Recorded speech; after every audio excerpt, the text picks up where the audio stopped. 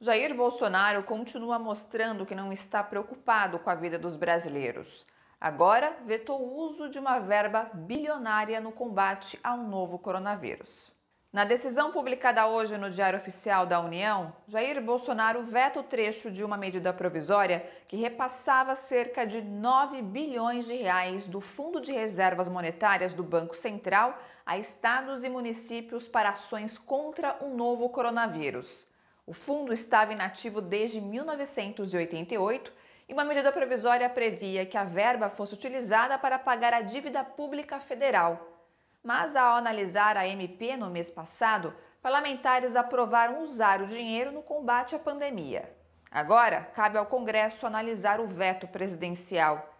Enquanto isso, os quase 9 bilhões de reais que poderiam salvar vidas ficam sem destinação. Gente, bora fortalecer a TVT? É só clicar em inscrever-se e depois clicar no sininho. Pronto! Assim que pintar notícia nova, você fica sabendo no ato.